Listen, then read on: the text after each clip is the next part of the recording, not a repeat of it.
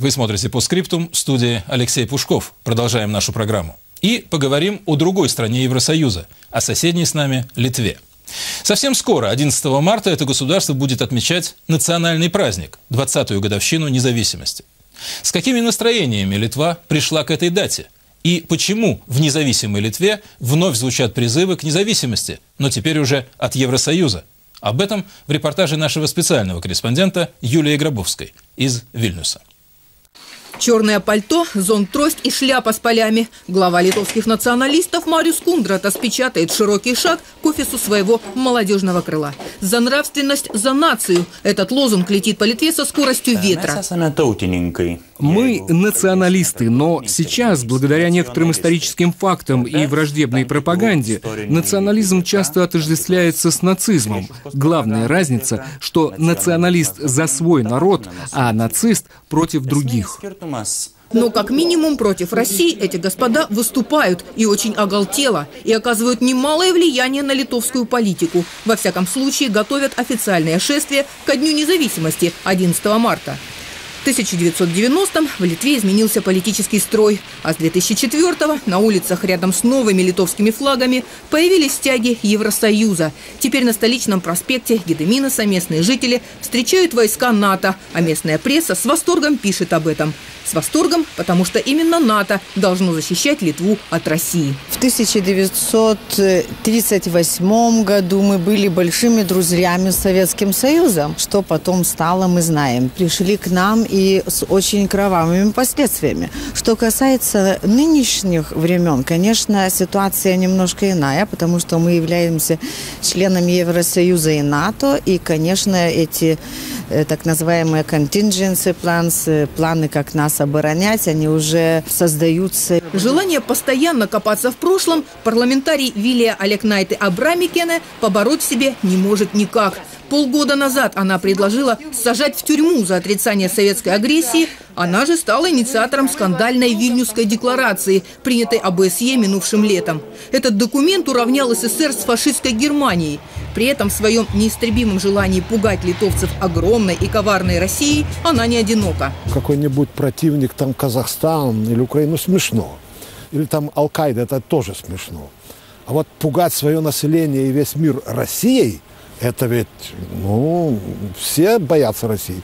А вот первый премьер Литвы Казимира Прунскини считает это глупостью. Они просто не осознали то, что Литва уже много лет, 20 лет в этом году независима, и не заметили, что Европейский Союз с Россией э, ведет э, диалог о стратегическом партнерстве – Похоже, что большая часть политической элиты Литвы действительно застыла в прошлом. Впрочем, новый президент Литвы Даля Грибаускайте свой нос держит по свежему европейскому ветру. Объятий с Кремлем она не боится. Пригласила президента Медведева на юбилей независимости и уверяла его в дружбе по телефону.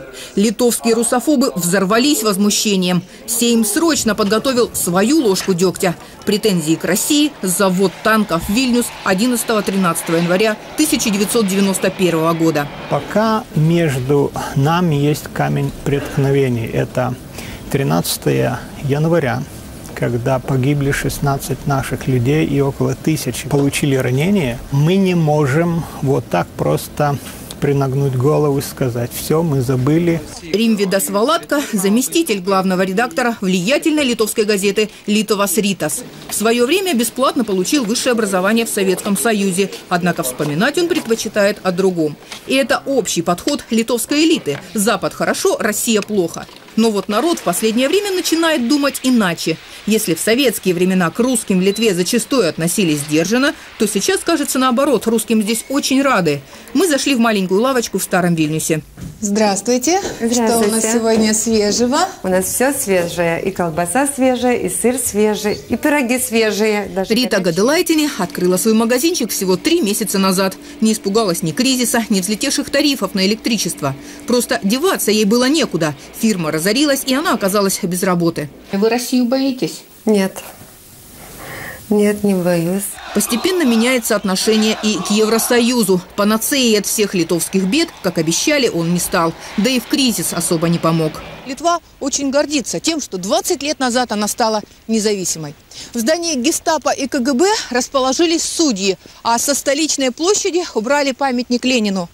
Однако сейчас в свободном Вильнюсе все чаще вновь раздается знакомое слово – оккупация. Но теперь оно относится к Евросоюзу. Еще совсем недавно разговоры о выходе из ЕС сочли бы немыслимым абсурдом. Теперь же об этом открыто говорят те, кто стоял у самых истоков новой Литвы. В 1990-м Ромуалдас Озолос подписывал акт о независимости, а в 2010-м говорит о похоронах этой независимости. Aš kūriau valstybę я создавал страну, которая называется Литовская Республика, а не ту, которая сейчас называется Литовская Республика Европейского Союза. Весь процесс Евросоюза основан на том, что сначала они уничтожают экономическую инфраструктуру государств, и потом втягивают к себе народ.